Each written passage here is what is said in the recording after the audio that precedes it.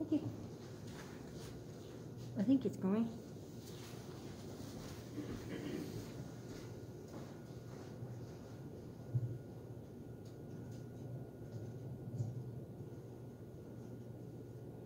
Thank you, Clara, for reading our scriptures.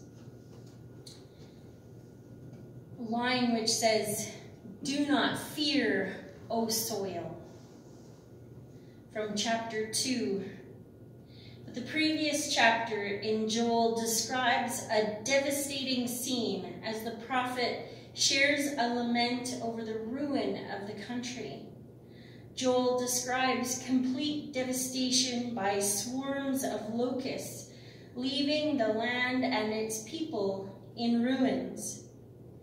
It's unsure if the swarm of locusts are real or a metaphorical description of a physical army of people. Regardless, the destruction appears to be total, kind of like standing at the edge of a drought-stricken field, only to watch what is little, what little is left to be decimated by hail. Can you feel it? The people are hungry and worried. They can't offer sacrifices as their traditions expect, so they're cut off from worship and the comfort of their gods. They have nothing to share with guests, and so they can't gather and are cut off from their communal support of friends and family as well. Everywhere they turn, there is suffering and sorrow. Does it sound familiar? As we gather this Thanksgiving Sunday, there is much suffering and sorrow in our land too. Often it feels like everywhere we turn, there is pain, negativity, and growing anxiety. We too might feel as if our lives have been taken over by a swarm of locusts. Do not fear, O soil. The prophet Joel calls people to gather, to share their laments, to wail against the injustices and put voice to their grief. He also calls them to repent, to fast and meditate on the words of their elders and all the inhabitants of the land. For the day of the Lord is coming, he tells them. We too are called to gather our hearts and minds this Thanksgiving, to remember the words of our elders and the stories of all who inhabit our lands. For in reconnecting ourselves to the land that feeds us and to the stories of all involved in sourcing our food and livelihoods, we cultivate and nurture gratitude Gratitude that goes beyond being thankful for the size of house we have, the nice clothes we wear, or the, the car we drive, or the feast that is on our tables. This is a gratitude that goes to the core of our being and inspires us to act. It's a gratitude so deep that amid devastation, it returns us to God with all our hearts. It's a gratitude that fully embodies God's abundant grace and love, reflecting God's promise to return us to wholeness and to never leave us. Do not fear, O soil.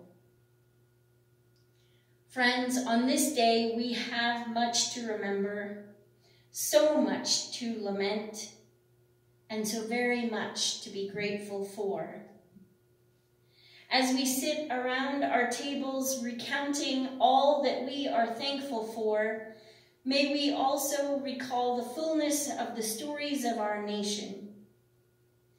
May we be mindful that there are many contested lands, places of unimaginable destruction of spirit and soil, places of turbulence, chaos, and worry.